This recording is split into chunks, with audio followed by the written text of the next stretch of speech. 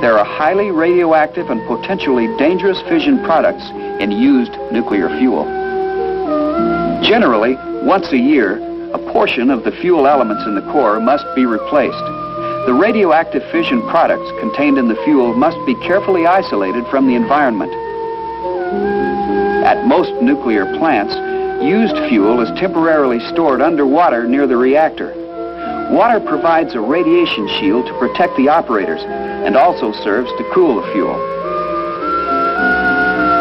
After a cooling period underwater, during which the radioactivity is greatly reduced, used fuel elements are placed in shielded shipping casks. These casks are transported to special storage facilities, or in some countries, to reprocessing plants. These plants separate and recover uranium and plutonium from used fuel.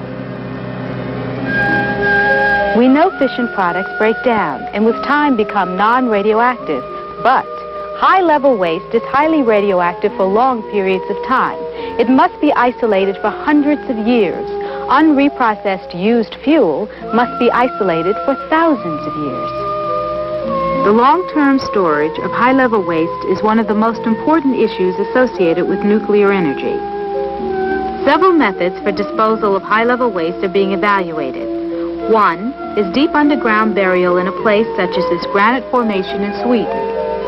In France, a commercial glass plant for encapsulating high-level waste has been operating for several years. In the United States, studies are underway for locating and qualifying underground formations.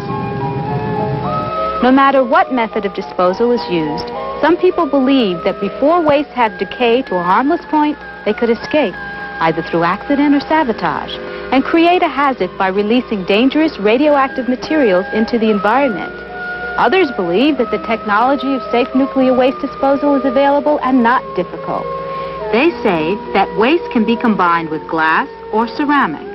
In this form, waste would be solid, stable, and durable.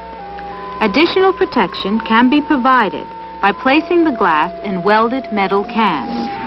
These containers would then be placed in geologically stable areas which have experienced no earthquake activity for millions of years. Finally, they feel that even if a nuclear disposal site were disturbed, waste would not move very far, if at all.